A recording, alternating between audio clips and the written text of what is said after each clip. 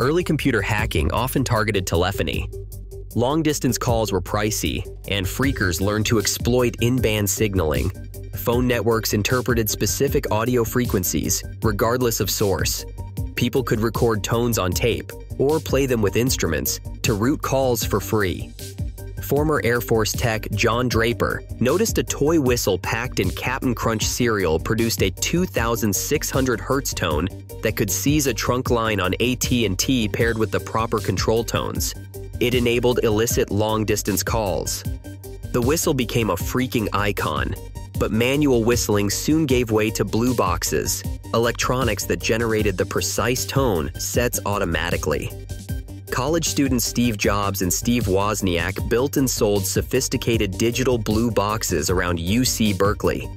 Jobs later said their success with them directly inspired Apple's creation.